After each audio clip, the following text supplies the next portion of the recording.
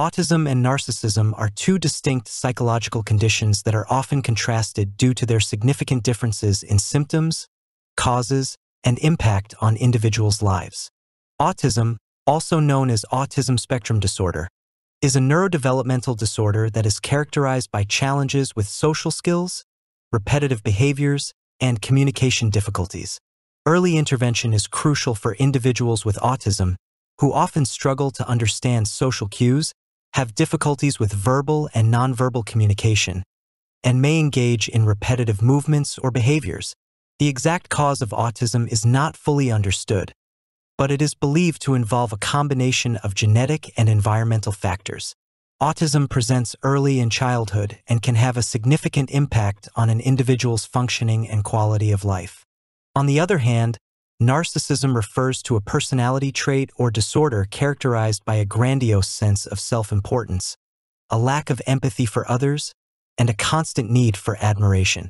It's important to understand that people with narcissistic traits may exhibit an exaggerated sense of self-worth, an obsession with success and power, and a tendency to exploit or manipulate others for their own gain.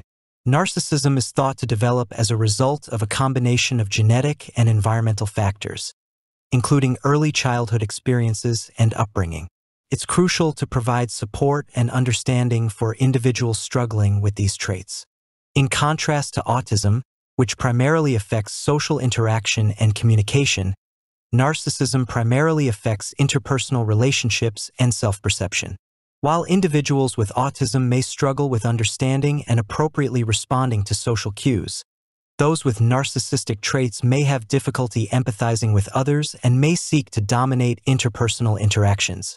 Additionally, individuals with autism often face challenges in forming and maintaining relationships due to their social and communication difficulties.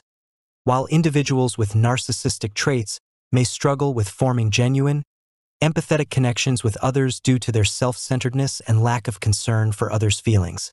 While both autism and narcissism are complex psychological conditions, they differ significantly in their symptoms and impact on individuals' lives.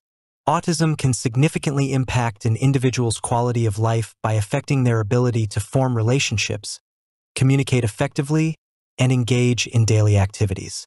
Similarly, narcissism can also have a profound impact on an individual's life, often leading to difficulties in maintaining relationships and functioning in society.